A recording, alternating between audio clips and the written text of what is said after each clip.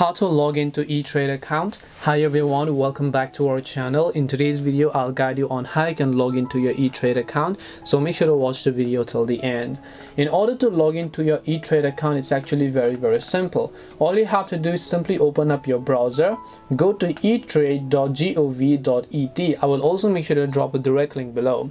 First of all when you load the website it might be in some other language. You have to click this option from the top right to select the language that you wish. In my case i have selected English.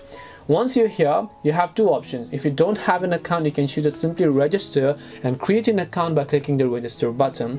If you already have an account, you can just click the login option that you can find over here.